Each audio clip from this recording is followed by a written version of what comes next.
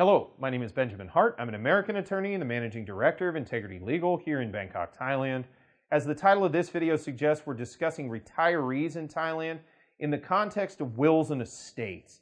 This is a subject that comes up rather frequently, and unfortunately, I do see folks that pass away here in Thailand, or I should say, I see their estate after they've gone, and we have to deal with probate matters associated with those circumstances.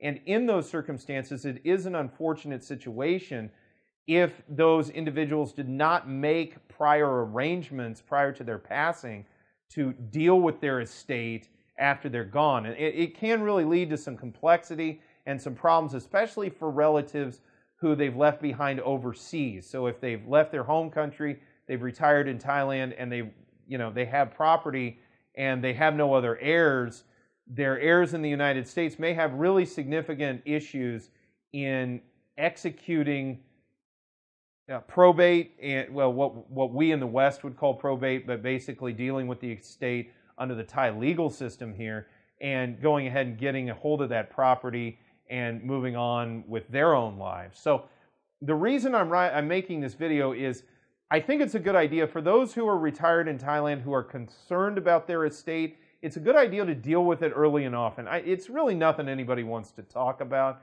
It's not something p- folks really want to deal with but getting a will done, it's just something, in my opinion, you just get it done and sort of forget about it and move on.